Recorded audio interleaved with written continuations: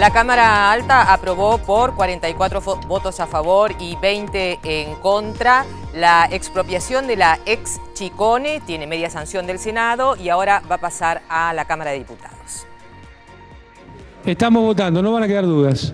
La expropiación de la ex Chicone, hoy compañía de valores sudamericana, tuvo sanción del Senado, 44 votos a favor y 20 en contra.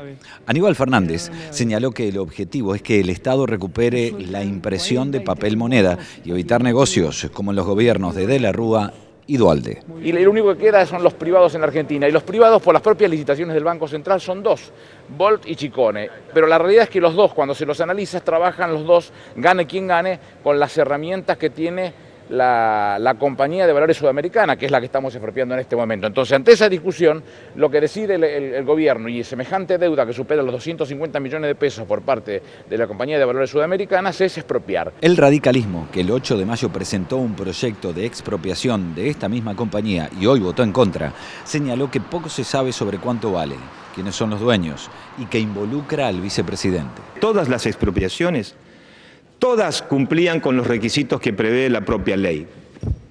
Utilidad pública, calificación por ley, indemnización previa, algunas discutidas, o en el marco de la litigiosidad, pero el denominador común de todas, pero de todas las expropiaciones, es que este Senado siempre conoció lo que se expropiaba, quiénes eran sus titulares, cuál era el pasivo y cuál era el activo. Bueno, hoy echamos para atrás con todos los precedentes que este propio Senado de la Nación sentó en materia de expropiación. En el cierre, el senador Miguel Ángel Pichetto defendió al vicepresidente, remarcó que la justicia seguirá investigando y acusó a Clarín de montar un show de prensa en un allanamiento solo porque perdía un negocio. Ningún fiscal de primera instancia puede hacer lo que hicieron con usted, vicepresidente que es ir a allanarle el departamento que además ya no ocupaba. Un juez ordenando un allanamiento cuando podría haber sustituido mediante una mera, un mero requerimiento en manos de su secretario de juzgado ir a pedir al consorcio la boleta de cablevisión, porque además la información sabemos de dónde vino, de cablevisión. Bien, avanza entonces este proyecto de expropiar la ex Chicone, que está fundamentado en eh, llevar a esta empresa como de interés público, pero también está vinculada a la investigación de Vudú. ¿Cuánto hay de, también de estrategia política con lo judicial y el vicepresidente Luis? Bueno, yo, como estábamos escuchando recién, eh, el tema Chicone está en el vértice de dos eh, polémicas, mm, de dos debates importantes en el país. Uno que tiene que ver con la soberanía monetaria, que es un concepto eh, que está en el ADN de este gobierno desde que empezó, digamos. Y el otro que tiene que ver con las denuncias de corrupción. Casualmente, las denuncias de corrupción involucran al vicepresidente Amado Budú, que hoy le tocó presidir el debate, para estatizar, sin pagar indemnización, una empresa de la que él se habría adueñado, con lo cual perdería mucha plata. Pero más allá de eso, eh, estos dos temas están eh, muy en el, debate y yo creo que es importante porque el tema de, digamos, los sectores de la oposición que se opusieron a, la propuesta de la estatización de Checone plantearon como tema principal el tema este de la denuncia que, está en la justicia y plantearon que no querían eh, apoyar esta iniciativa porque podía perjudicar el desarrollo de la investigación. Por su lado, el, gobierno, el oficialismo, los, legisladores del oficialismo plantearon que había que hacer la estatización y, seguir con la investigación.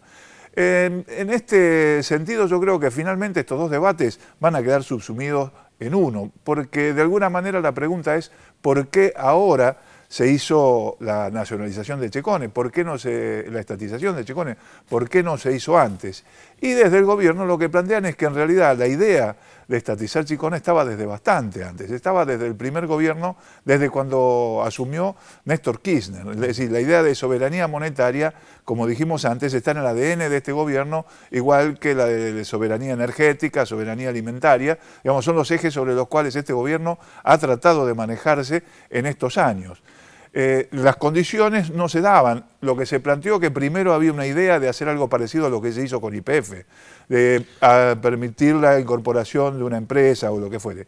Eh, eso no, no, funcionó. Cuando se dio la quiebra de Checón en agosto del 2010, el gobierno planteó que a partir de la deuda que tenía Checone con el gobierno, el gobierno estaba interesado en hacerse cargo, en, absorber la empresa, en que la Casa de la Moneda absorbiera la empresa. En ese momento, el, juez eh, no aceptó la propuesta de la FIP.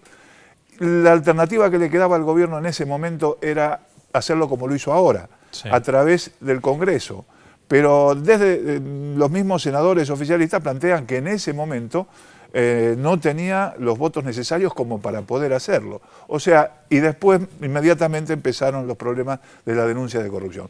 La verdad es que si es importante que la justicia dilucide esta denuncia que se ha planteado, pero que si se estatiza la empresa y no se paga indemnización, es muy difícil encontrar a dónde eh, eh, pudo haber estado el enriquecimiento o el supuesto enriquecimiento.